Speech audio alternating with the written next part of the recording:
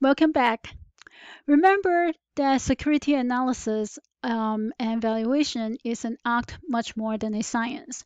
But we do have done, um, academics like like us have done a lot of work to try to decipher and tease out um, the intricacies of um, factors that affects a firm's valuation. So the results are useful. Um, and it helps us to understand the relationship between accounting numbers and um, market price. So in terms of capital market variables, we look at stock prices, we look at how stock price change around um, important events such as um, earnings announcement, um, how stock return change over over time. Um, I have looked at um, stock price changes surrounding CEO turnover. Um, so all these are uh, things that have been studied by various researchers. Um, and the findings are very interesting. So let's take a look at um, what do this, what, uh, what questions are these researchers trying to answer? Very important. We remember we keep referring to the idea that if the market is efficient and in equilibrium, and we haven't really spent the time to define what it is. So, what do we mean when we say a market is efficient? There's actually a formal hypothesis that uh, some academics has come up with. It is called the efficient market hypothesis. What this hypothesis um, stipulate is that when a market is efficient, stock prices should correctly incorporate all relevant information. And because of that, when new information arrives, stock prices should quickly adjust to the new level, the new correct level. And a natural question then follows is what do we mean by all relevant information? So there are different types of information, and some people classify the market's efficiency based on that. Um, a weak form efficient market suggests that stock prices only incorporated historic information, so things that happened in the past. So last year's earning or or um, or last year's stock price, last year's trading volume, and so forth. A semi-strong efficiency include all publicly available information.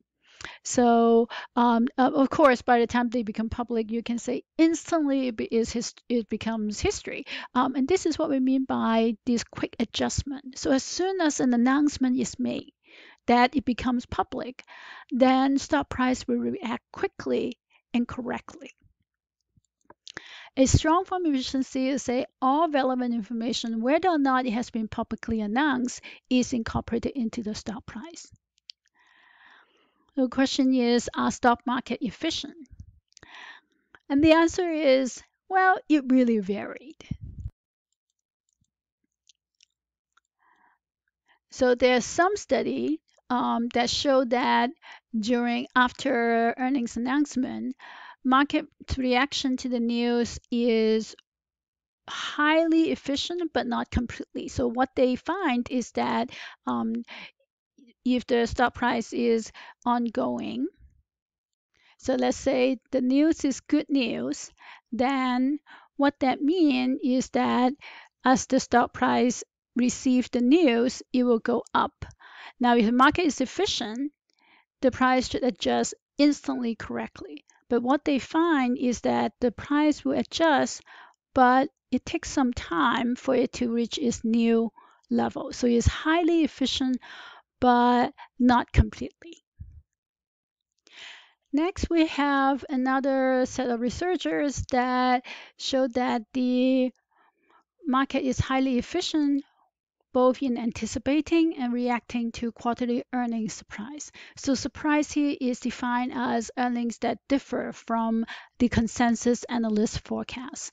So they they find that prior to earnings announcements, there's some pre-reaction, and then as soon as the earning is announced and it's a surprise, it completely adjusts to the new level.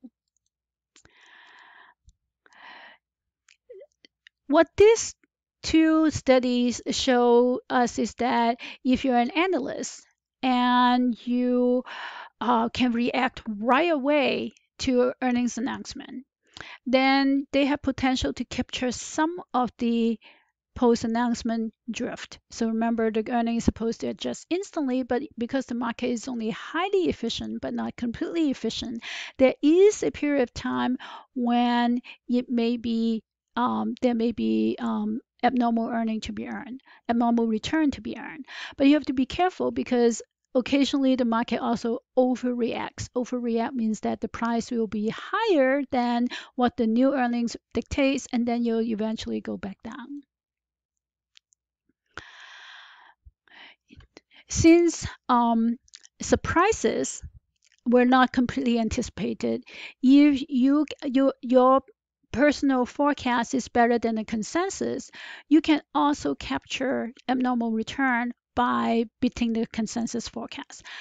Admittedly, this is very difficult to do, but that's really the bottom line of being a good analyst. A good analyst uh, means that you have deeper understanding of the industry, you have deeper understanding of management than the consensus. Um, so the bottom line is that insightful financial statement anal uh, analysis can potentially earn better than average return. This is true for um, on average, but this is a daytime job. So if you only if you can only devote the weekend or evenings to doing financial statement analysis, as you have seen in this course, is a very extensive task. So it absolutely is a full-time job. An analyst will earn better than average return. Um, and therefore they are they are earning their management fee. So for the overall investor, this is a um, they are no better off, um, or they are just as well off um, going with a um, a reliable and competent financial analyst. So what do we what can we draw as the final conclusion of all the valuation model that we have studied? How can we can we use them to identify overvalue or undervalue stock? Empirical evidence that we have studied show that it vary.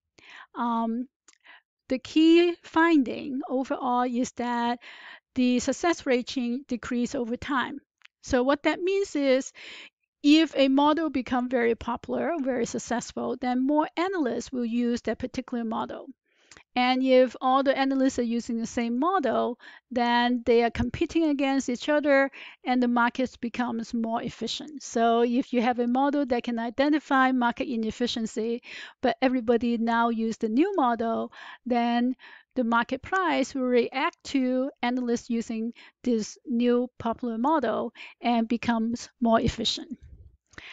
What that means is the search for models to identify undervalue or overvalue stocks is an ongoing process. So the models that we have created here, remember, it's important to understand the principle. Um, as an analyst, you will be constantly changing, modifying, tricking to make your model better than the next analyst. Um, currently, some new models use very advanced tools such as machine learning. Um, sometimes they're called the quant, quantum, uh, the quant models. Um, so we'll expect to see new models being developed um, on a constant basis.